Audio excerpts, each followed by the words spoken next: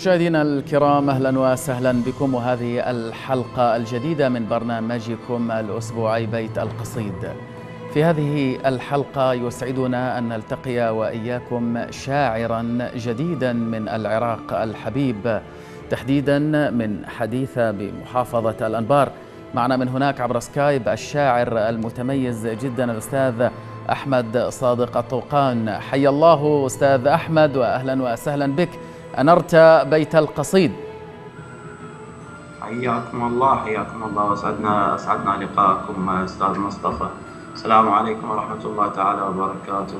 بورك آه، بك. نسأل الله لكم التوفيق دائما إن شاء الله. برنامج جميل ولقاءات جميلة مثمره إن شاء الله. آه، تضيف على على الجانب الشعر الفصيح الذي يعني أهمل قليلا من بالمجتمعات العربية. آه، حيث ابتعد الناس يعني عن اللغة الفصيحة الق- الجميلة. فيعني أصبح الاهتمام به ضعيف جدا. فمثل هذه ال- البرامج يعني تعيد الاهتمام به فيعني نطمح أن ترتقي أكثر وأكثر إن شاء الله. وهذا دورنا وواجبنا أستاذ أحمد صادق الطوقان الشاعر العراقي المتميز بأخلاقه وبمنطوقه. وعمله كذلك. أستاذ أحمد بالبداية وقد عرجت على شيء من الوجع فيما يتعلق بعزوف الجمهور من العامه عن اللغة العربية الفصحى. حدثني عن وجعك الخاص في هذه الفكرة وبحدود ما تحب. تفضل. آه، عذرا أستاذ مصطفى لما أسمعك. مرة ثانية أقول لك بحدود حديثك عن عزوف العامة من الناس عن اللغة العربية الفصحى. حدثني عن الوجع الذاتي الذي لامسته وعاينته أنت فيما يتعلق بابتعاد ونأي المجتمعات العربية عن لغة الضاد. والله يعني بالحقيقة يعني هي هذه لغة القرآن أولا ولغتنا يوم القيامة لغة الذي يحاسب بها الله سبحانه وتعالى. يعني حين حين ترى يعني المجتمع بعيد جدا عن هذه اللغة حتى في تلاوة القرآن دعك من الشعر و و- يعني قراءته وكذا ومجيء الشعر الشعبي الذي اكتسح ال- الشارع الأدبي وأصبح له يعني بالحقيقة هو شعر لا نبخسه حقه جميل جدا لكن ليس كمثل الشعر الفصيح الذي له مكانته أحسنت في إعادة اللغة ويعني يكفي أن أنها لغة القرآن الذي يعني آه، يجب على على الشباب جميعهم أن ي- أن يعرفوا هذه اللغة أحسنت, آه،. أقل شيء يقرأوا ت- كلام الله تعالى قراءة صحيحة يعرفوا ما جاء ما ما ورد منه نعم. يعني كمجتمع عربي إسلامي وجب عليهم معرفة هذه اللغة. أحسنت. أستاذ أحمد في هذه الحلقة أعددت من أجلك أسئلة خارج الإطار المعهود وخارج الصندوق. سأبدأ بأولها. كيف يمكن للشعر أن يرتقي بأخلاق العامة وأخلاق الشاعر ذاته؟ كاتب القصيدة. ال- الشعر آه، كما قال كما قال الأقدمون قالوا أن الشعر آه، كلام العرب ودستور حاضره وماضيه و يعني بالحقيقة يعني نحن لم نلتمس أن الشعر يرتقي بأحد دون الآخر.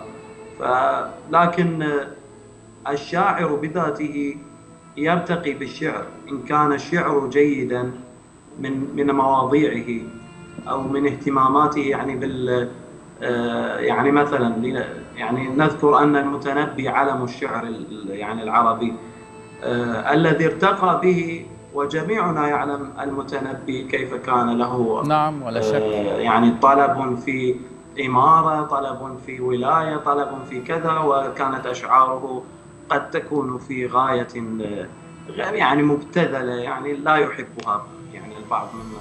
ولكن المتنبي هذا علم الشعر. ارتقى بشعره من الجا- جانب الحكم والمواعظ والأمثلة التي كانت يعني وما زالت وأظنها قائمة إلى قيام الساعة تطلق هذه ال- الحكم الذي وضعها المتنبي في شعره وجمل بها شعره وكانت يعني تحكي معاناة لشعبه دون دون نفسه يعني. أحسنت يا أستاذ محمد. ارتقاء الشاعر ارتقاء الشاعر يكون بارتقاء بارتقاء مجتمعي. نعم. أستاذي العزيز الآن إذا أردنا أن نتحدث أستاذ أحمد عن فكرة مفادها في سؤالنا الجديد. الفكرة عنوانها عظمة الكلمة عظمة القيمة عظمة الهدف وعظمة المرجو من وراء هذا النص. هل ترى فعلا أن القصيدة اليوم لا تزال تحافظ على القيم وأن الشاعر حارس بوابة القيم كما ينبغي أن يكون؟ بصراحة. ربما هذا ربما ربما هذا الذي يعني نرجو أن يكون ولكن آه، ما كل ما يتمنى المرء يدركه آه، يعني قد تكون القصائد يعني الحديثة تطورت تطورا غير يعني غير عكس عكس كلمته. يعني يعتقد الناس أنه تطور ولكنه في الحقيقة تراجع يعني لغوي ونحوي وحتى أخلاقي. يعني هل هذا حكم على عموم التجربة الشعريه الحديثة أم على جزء لا. منها؟ يعني آه، الحداثة في الشعر مرتبط بالقدم والأصالة. نعم. يعني هذه تكون صنعة أجمل منها يعني أجمل منها لا يكون. أحسن. يعني حيث أن الشاعر الحديث لابد لابد له أن يتكلم في حداثه حداثة العهد يعني في مجتمعنا يعني صحيح. هل هل للشاعر الشاعر القديم أن يتكلم عن الغزوات والصحراء والخيل والليل وكذا؟ وهو الآن في مجتمعات انتهى منها هذا هذا الامر لابد أن يجدد ولكن التجديد على أن يرتبط في ضمن إطار معين من من الأخلاق وال كما قلنا الا ينفصل عن الجذور. الذي ضيعت. نعم الا ينفصل عن الجذور وعن يعني الأصالة العربية الموروثة. نرى نرى معظم اللغة العربية ضيعت. من جانب آه، يعني عدم اهتمام الشعراء. مو لا لا يعني لا أعم ابدا. نعم. حتى من الحداثويين الذين يكتبون الحداثة. يعني آه، ممكن منهم من ملتزم كثيرا في في هذا المجال. أحسن. ومنهم من تراه مفرطا مفرطا كثيرا. يعني وأنا يعني قرأت كثيرا يحدث هذا نعم. قطاني آه، قرأت قرأت كثيرا ولي مؤلف أيضا في يعني في أشعار قطان يعني نعم. آه، قد يعني البعض من الشعراء. آه، سنأتي على حديث القباني ولكنه يسيء في هذه المشابهة. أحسنت. آه، نزار نعم. قباني نعم. ذاته قال لن يكون أكثر من نزار واحد وكل شاعر يكون هو. إذا كان صدا لغيره فسقط وسقط شاعر هو شاعر نفسه. أحسنت أحسنت. نعم. بقولك يا صديقي. خير مفتتح إلى الشعر. ما القصيدة التي اخترتها لافتتاح هذا العدد من بيت القصيد؟ تفضل أستاذ أحمد. نعم. إلى القصيدة الأولى. آه، قصيدة نفتتح بها هذا اللقاء الجميل وخير ما يفتتح به الصلاة على النبي عليه الصلاة والسلام. عليه الصلاة وتم التسليم. وقصيدة من أين أبدأ والحديث طويل؟ مم. لا الشعر ينصفني ولا التأويل. من أين أبدأ والحبيب محمد قمر له الآيات والتنزيل. ولد المختار أنزل ربنا رحماته والخير فيه يصول. هو رحمة للعالمين تنزلت أخلاقه عظم لها التفضيل. هو سيد الكونين مفتاح الهدى هو قائد هو هاشمي سليل. إيه. بعثت مكارمه إلى أقصى الدنا يوم الوقوف شفيعنا ومعيد.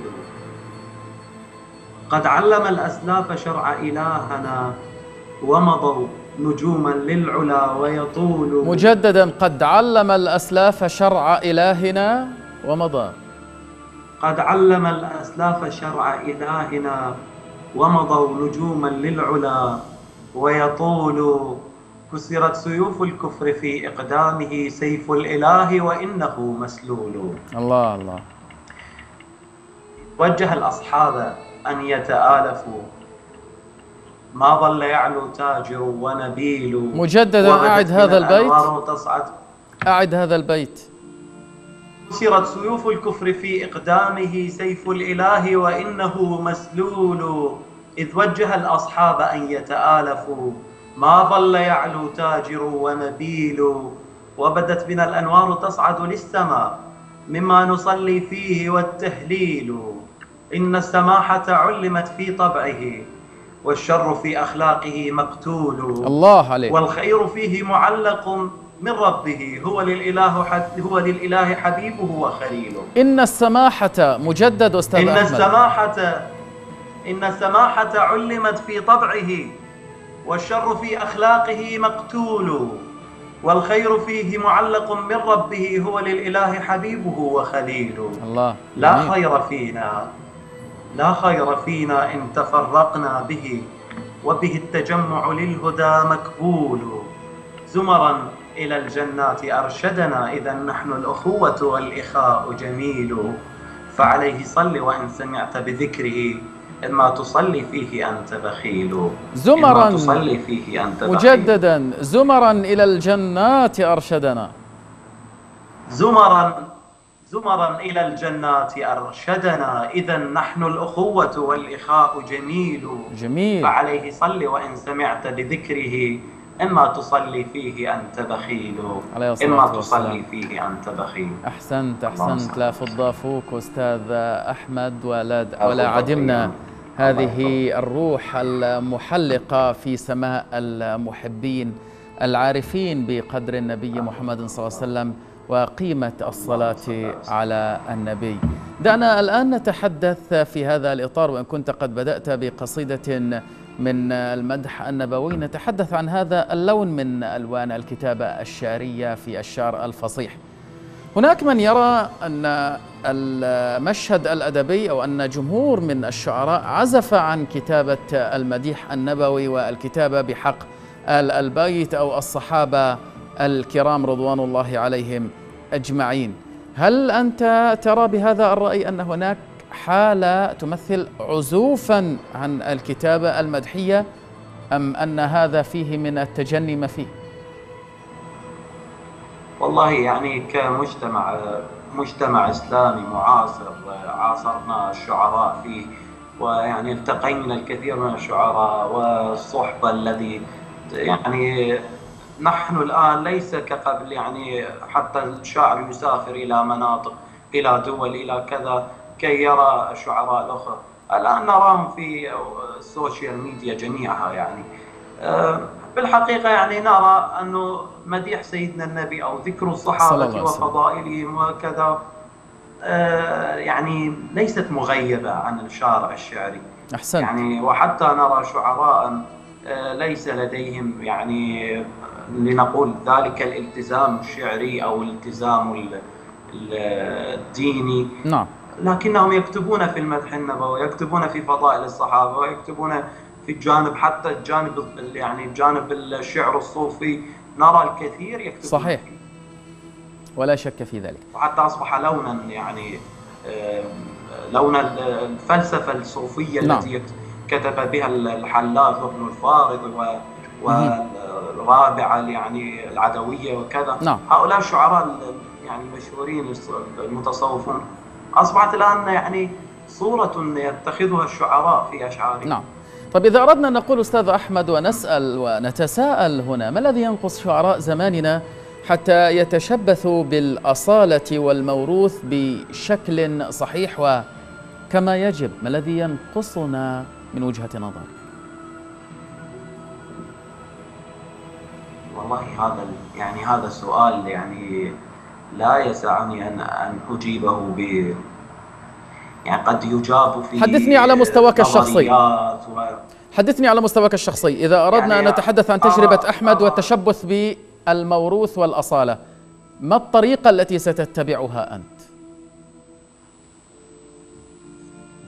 يعني بالحقيقة أنا لتعلقي بكتاب الله وتعلقي بالقديم يعني قد لا أزيغ عن عن هذا النظام أحسنت. ولكن عن كشعراء آه، تراهم كمبدعي يخرجون عن الأصالة القديمة ويذهبون إلى التجديد حسب رأيي أنهم ما ذهبوا منه إلا لما رأوه من تشتت مجتمعي أو ضياع ثقافي أدبي يروه في في هذا المجتمع الذي كلنا نرغب ونحب ونرجو أن يكون يعني بالمستوى التي الذي كان يطمح به رسول الله عليه الصلاة والسلام أن يكون أحسن. هذا المجتمع نعم إلى قصيدة جديدة أستاذ أحمد صادق الطوقان من الأنبار في العراق الحبيب القصيدة التالية ماذا ستقرأ علينا ومن أي الأشكال الأدبية هي؟ يعني قررت أن أن أبدأ في القصائد يعني المنظومة على المنظومة على النظام التراتبي من الأعلى إلى الأسفل. تفضل. آه، فالأولى مدح سيدنا النبي الثانية كتبتها في حق يعني آه، سيدنا عمر. تفضل. أسميتها الفاروق الهرم.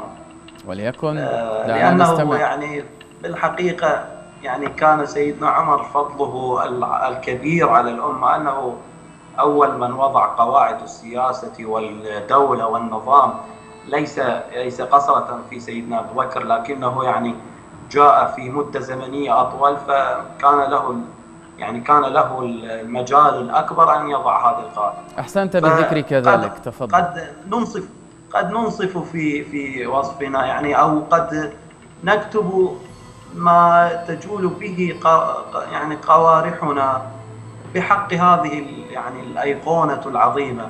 ولكن لا نوفي حقه. آه، فبدءا آه، أسميتها الفاروق الهرم. تفضل.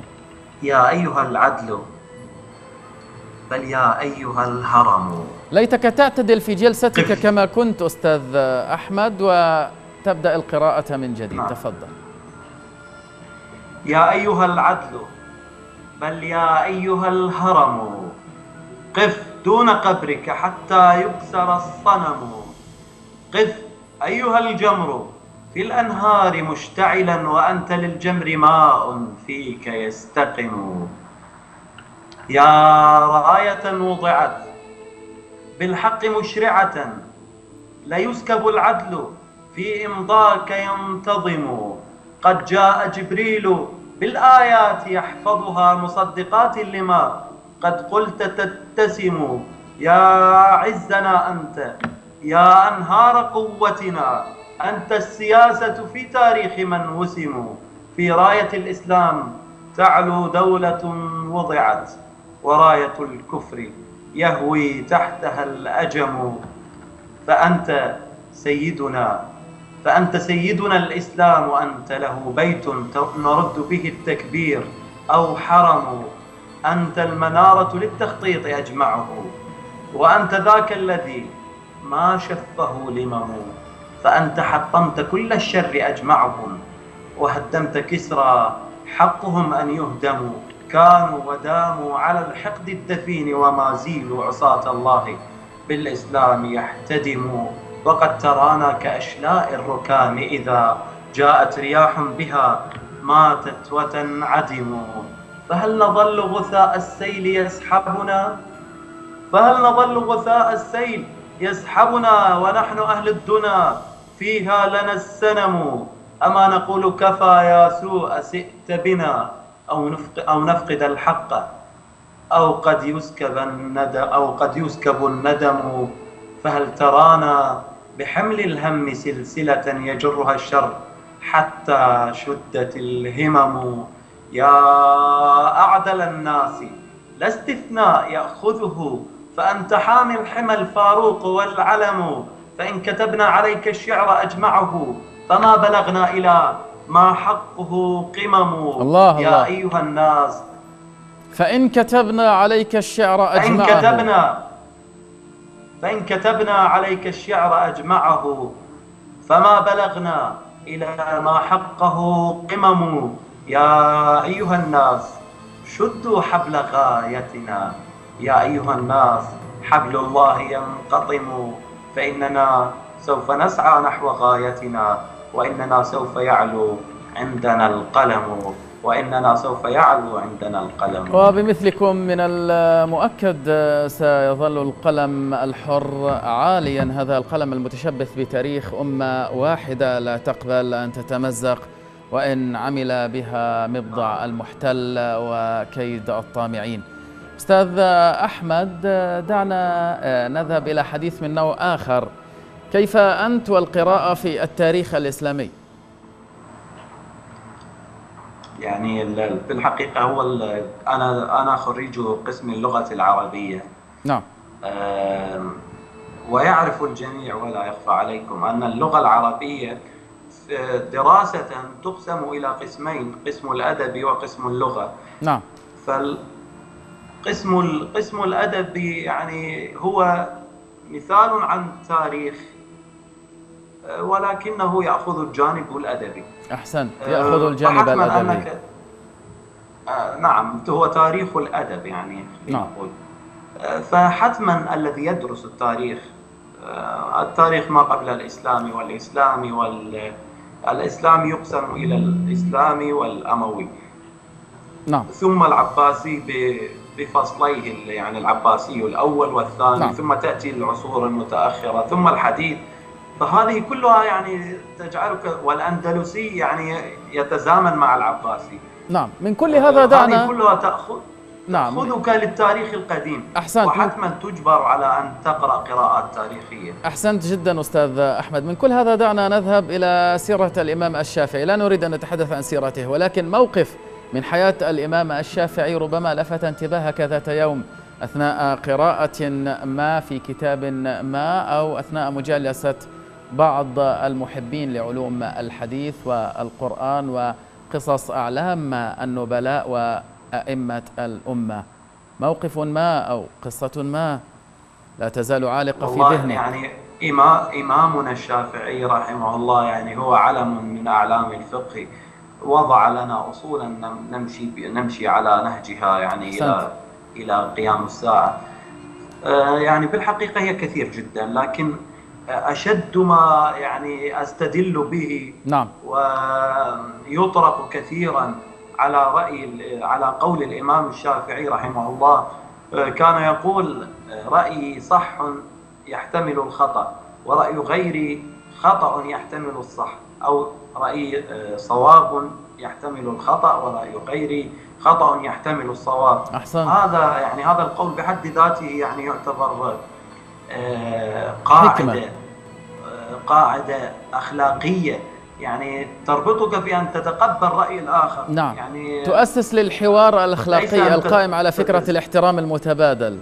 بين الخصوم أستاذ أحمد. يعني يعني وهذه يعني بالحقيقة وضعت لنا أن يعني كمسلمين نتواصل مع الجميع ولا يعيقنا أي عائق أحسن يعني وإن خالفني بالفكر وإن خالفني بالاعتقاد وإن خالفني بالدين حتى. وإن خالفك بالمذهب أو. يعني الطائفة تجمع- أيضا. تجمعنا نعم. أحسنت. تجمعنا ال- الإنسانية ال- الخ- الخلقية اللي وضعها الله سبحانه وتعالى في خلق المسلم. نعم. الآن سأخذك برحلة إلى الإمام يعني الشافعي. كثيرا. سأخذك نعم. آه، رحلة إلى الإمام الشافعي وقصيدة من قصائده. نتابع أعزائنا المشاهدين الآن هذه القصيدة للإمام الشافعي ومن ثم نواصل حلقتنا رفقة شاعرنا من العراق الأستاذ أحمد صادق الطوقان. ابقوا معنا.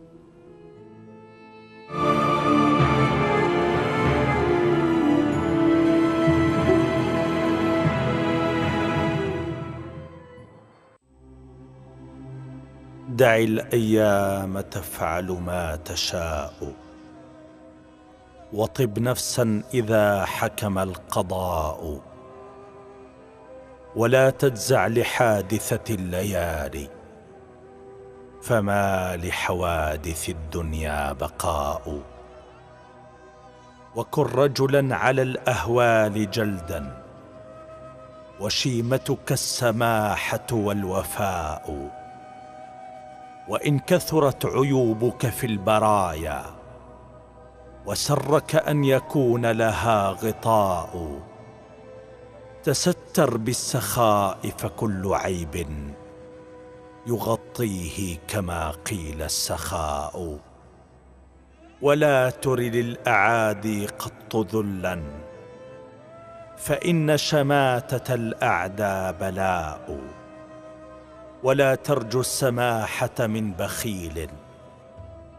فما في النار للظمآن ماء ورزقك ليس ينقصه التأني وليس يزيد في الرزق العناء. ولا حزن يدوم ولا سرور ولا بؤس عليك ولا رخاء.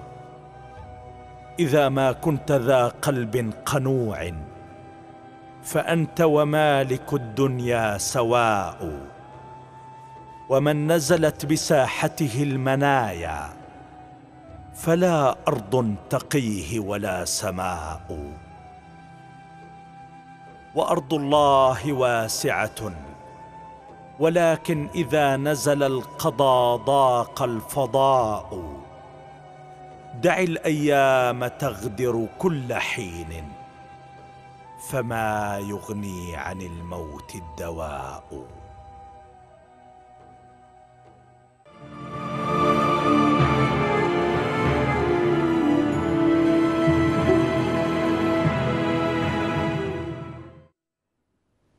نجدد الترحاب بكم السادة المشاهدين الكرام ولمن التحق بنا في هذه اللحظات. ضيفنا من حديث في الأنبار معنا الشاعر أحمد صادق الطوقان. سيد أحمد إذا ما كنت ذا قلب قنوع فأنت ومالك الدنيا. سواء ماذا تقول في هذه الحكمة؟ يعني هذه كان يفترض أن أقرأ أن أقرأ القصائد الأخرى الذي حضرتها للقراءة لكي تكون هذه هذا البيت يعني يكفي ردا يعني آه هذا يعني آه دلالة إيمانية بالإيمان بالقدر. نعم. الإيمان بالقدر خيري وشر. يعني يقول إذا كنت في الدنيا قنوعا فأنت ومالك الدنيا سواء.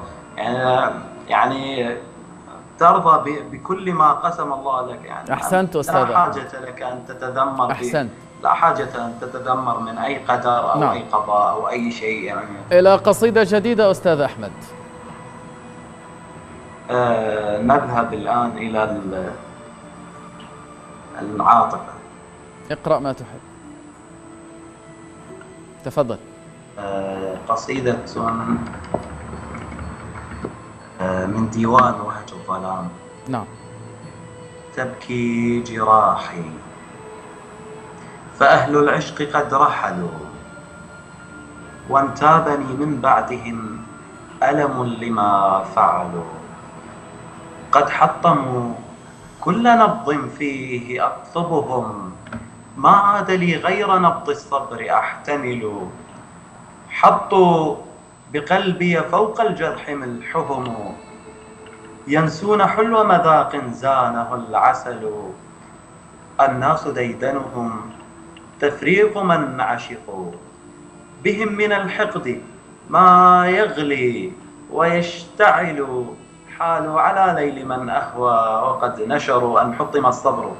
فيه اليوم والأمل مقطعين حبال الوصل إنهم يمزقون بروح حانها الأجل. يستصرخ القلب والأشواق تسعفه. الله الله. والطامعين بقطع الوصل قد عذلوا يعقوب قلبي لا ثوب سينقذني من سوء هجر من الخلان يفتعل.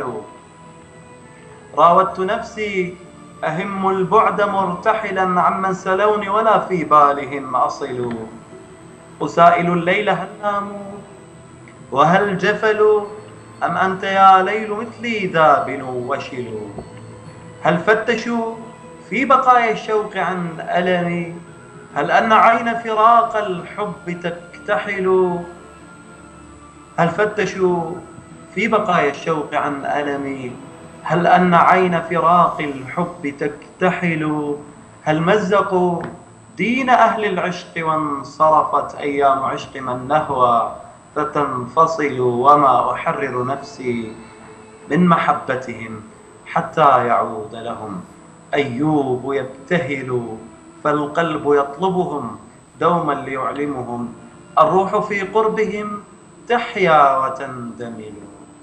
تعلو منازلهم والبعد يؤلمني فالهجر يقتلني من سوء ما فعلوا.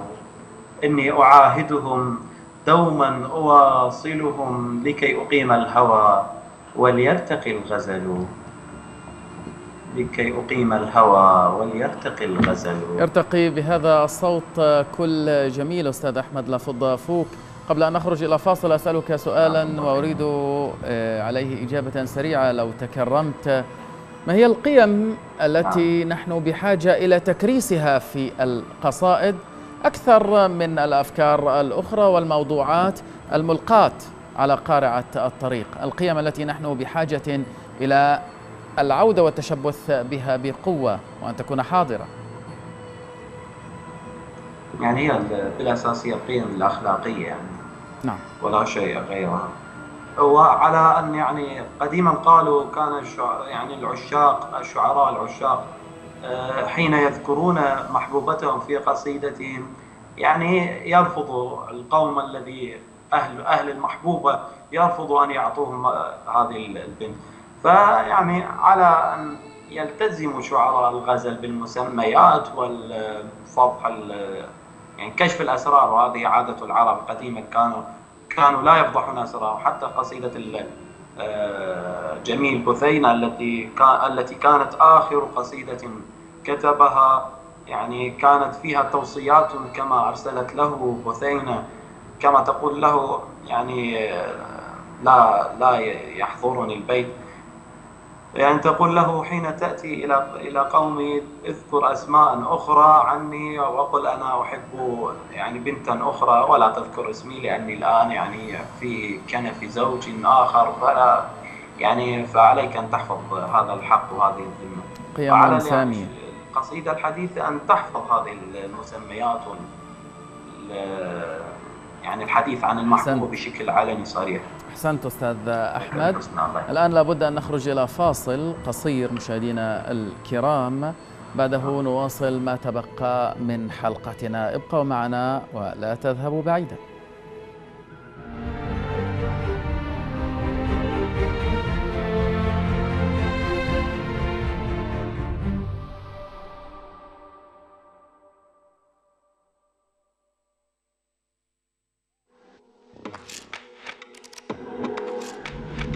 مشاهدينا الكرام ننوه لحضراتكم أن التردد الجديد لقناة الرافدين الفضائية هو عشرة ألاف وسبعمائة وسبعة وعشرون. الاستقطاب أفقي على مدار القمر نايل سات. لذا يرجى من متابعينا الكرام ضبط أجهزة الاستقبال على التردد الجديد.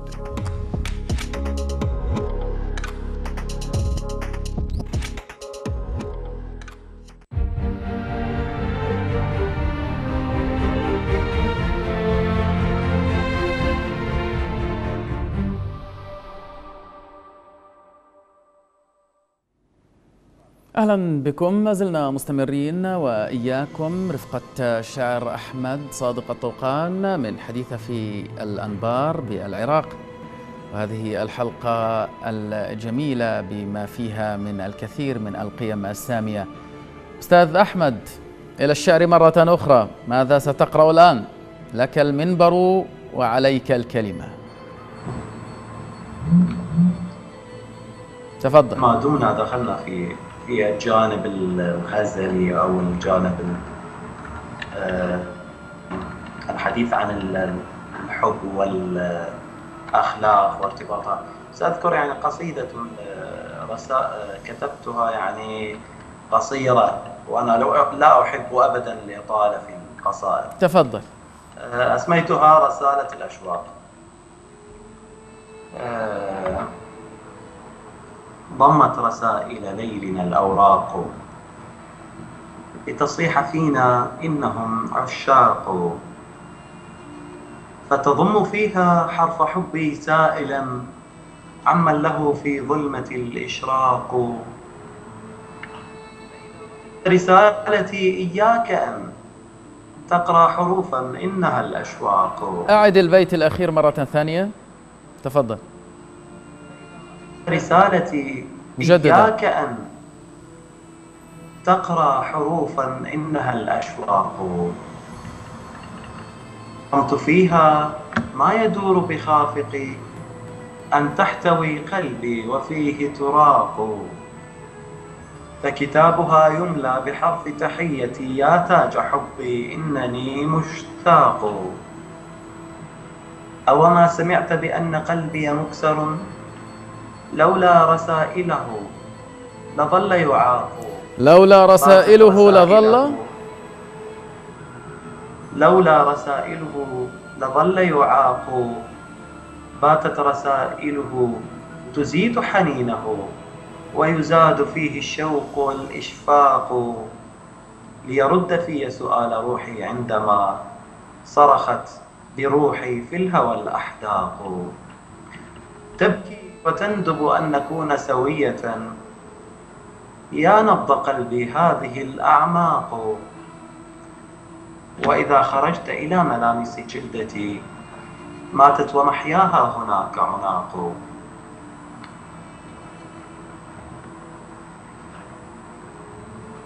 هل انتهى النص؟ نعم. حزن العراق في قصائد الشعراء العراقيين أستاذ أحمد. كلمنا عن هذا الحزن وما يحمله من أسرار يرشها على وجدان كل شاعر عراقي حتى باتوا معروفين بحزنهم وإن كانوا يتكلمون عن الفرح ما هو سر هذا الحزن؟ يعني في المأثور يقول قديما أن الشاعر ابن مجتمعه بما ترتب على على العراق قرابة هذه يعني توالي هذه العقود يعني من حروب ويعني قتل وكذا والى أن يعني أصبح الشاعر يعني بصفتي شاعر شاب. وولدت في مجتمع وجدت فيه هذه السمة يعني السمة الحزينة أو لنقول يعني سمة تكون أقرب للتشاؤم. نعم. حتى أن تشوب القصيدة نوع من التشاؤم وإن كنا يعني نطمح للتفاؤل وسيدنا النبي قال ويعجبني الفأل ونكتب عن التفاؤل لكنها سمة لازمت الشعر نعم. يعني العراقي وقد يعني تلازم الشعر العربي نعم. لما مرت به ولا شك. من بلداننا العربية من أحداث قتل ودمار وكذا وكذا أحسنت ما هو دور الشاعر باعتقادك من أجل التخفيف عن يعني كاهل أبناء مجتمعه في ظل ما يمرون به من ظروف قاسية وأحداث وأحوال غير مستقرة كيف يمكن للشاعر أن يكون بلسما لأبناء مجتمعه من العامة ومن القراء كذلك هل يمكن تحقيق ذلك؟ آه لا يعني حتما لا يوجد شيء اسمه لا يمكن. نعم. آه الذي يسعى يمكنه أن يحقق أي شيء. آه نظام وضعه سيدنا النبي يعني قال لا عدوى ولا طيرة ويعجبني الفأل.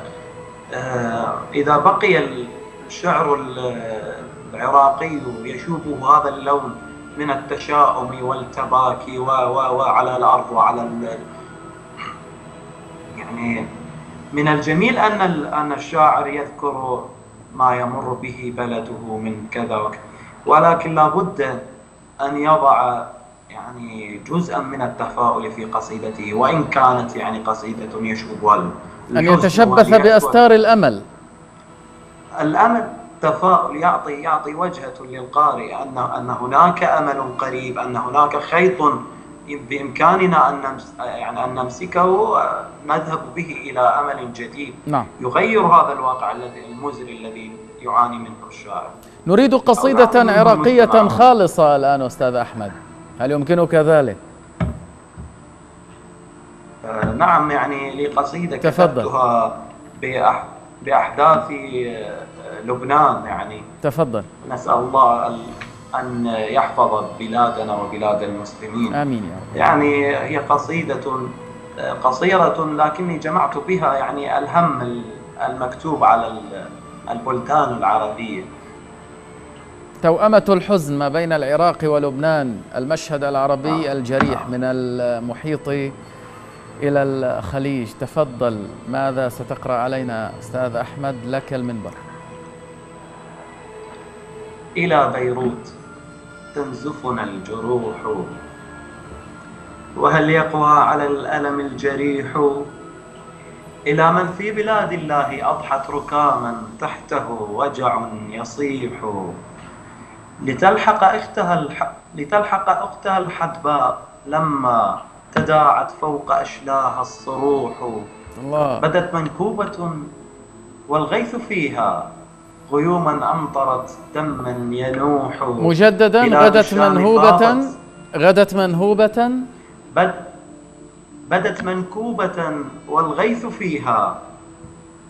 غيوما أمطرت دما ينوح بلاد الشام فاضت من هلاك. وقد كنا بأصداها نسوح فباتت تحتوي نيران سفك. وقتل بالهوية يستريح. وفيها الأبرياء بدوا حطاما. وفيها الأبرياء بدوا حطاما. وفي حاراتها مات الصحيح على أرض التيمن قد ولهنا بلاد الله يأكلها القبيح. يا الله. فعطر المسك عطرناه منها. فأرض التيمن قد ولهنا بلاد الله يأكلها القبيح. فعطر المسك عطرناه منها. بدم الأبرياء هنا يفوح. عراق ينزف الأوجاع لما بكت بيروت واخضل السفوح. فأرض الله صبي ماء عدل به يحيا من البؤس المليح. به يحيا من البؤس المليح. حتما ستبتسم الحياة إلى من يستحقونها ومن المؤكد أن الأوطان دائما تلفظ محتليها ولا تقبل أن تكون لغير أبنائها. أستاذ أحمد قبل الختام كلمة من أجل العراق الذي تحب. رسالة محب من عراقي إلى وطنه. الغالي عليه ماذا تقول؟ والله رسالة للعراق لا تكفي أن نحصرها في لقاء أو في آه، كلمة بسيطة فإن العراق له الدم آه، وله الروح تفديه. لكن آه، على العراق أن يلتزم بالأخوة السامية وهي أخوة الوطن. الأخوة الإنسانية لا يفرقنا مذهب أو طائفة نعم. وإن كان يعني يعني وإن كان الفرق موجود لكن المعايشة الإنسانية هكذا وضعها رسول الله ثم وضعت أساسا كما تعايش تعايش النصارى وغيرهم اليهود الذين عايشوا المسلمون في عايش المسلمين في المدينة ويعني نعم. ولم يعترض عليهم صحابي أو إلا إلا ما كان من منهم من أخطاء. وعاملوهم كما يعامل آه، غيرهم يعني من الصحابة ومن المسلمين حتى. أحسن. على على العراق الذي التزم مسماه العراق العظيم. وسيدنا عمر قال عنه جمجمة العرب على أن يعود جمجمة للعرب ولل يعني وللأرض أجمعها. يعني وإن كنا وإن كنا نطمح أن ينتفض ينتفض قليلا ينفض الغبار التي تحيطه ليرجع كما كان. ويعني قد يسمعنا السامع يقول كيف يرجع جمجمة العرب؟ بل يرجع ويرجع إذا كان عزم الشباب عزما حقيقيا لا مشو لا مشوبا بمصالح دنيوية أو حقد دفين بين بين شخص وآخر. نعم. إلى مسك الختام. يعني يرتقي العراق ويرجع يرجع من جديد العراق. سيرجع يوما إلى أهله. إلى القصيدة الختامية ومسك الختام. مسك الختام نريده شعرا ماذا ستقرأ؟ علينا. تفضل. أو لك قصيدة غزلية أيضا. نريد الختام لينا هينا. تفضل. آه، آخر ما كتبته في يعني قبل قبل أيام كتبت نعم. هذه القصيدة. تفضل. آه، حطمت قلبي واتخذت قراري ومشيت في أعتاب لحم جاري. فوجدتني قد تيمتني طفلة تجري علي تحيطني بجواري. راجعت نفسي. كيف كنت محطما إن كان يأتي هاجس لحواري؟ هي لم تكن. قارورة هي بلسم عقدت فؤادي في هوى إعصاري هي كعبة الستر القويم يحيطها. هي بسمة هي ضحكة الأقدار. هي تلك عاصفة الجمال وإنني آمنت فيها جنة الإعصار. نسماتها نسماتها امتلكت معين توددي وهواي يهتف ليله أشعاري كنت الذي عقد الوداد عن عن الهوى ووجدتني أصبو وحولي ناري أنا ذلك المهموم ضم همومه تحت الوسادة كي يدار مداري. أنا, مل... أنا قد ملكت مفاتحا لم تمتلكها بالوداد تحية الإيثار. ولقد فتحت مواطنا لم تحتويها ساحة الفردوس والأحرار فأخذت أخشاب السفينة نحوها وطرقت فيها بالهوى مسماري أبحرت فوق ودادها ورأيتني السفاح إني تائه ببحار فاتنة فاتنة الجمال مجد الجمال مجددا. نعم. وركبت موج الحب في الأنهار. نعم. وركبت وصلت آه، المشاعر طيبة وإن كان الصوت بدا متقطعا في آخر الثواني. عموما كان لقاء ممتعا وجميلا. رفقتك أستاذ أحمد صادق الطلقان من العراق. سعدت بك في هذه الحلقة من بيت القصيد أسعدك الله مشاهدينا الكرام بهذا نكون قد وصلنا وإياكم. إلى نهاية هذه الحلقة. الأسبوع المقبل يتجدد لقاؤنا وإياكم رفقة شاعر آخر.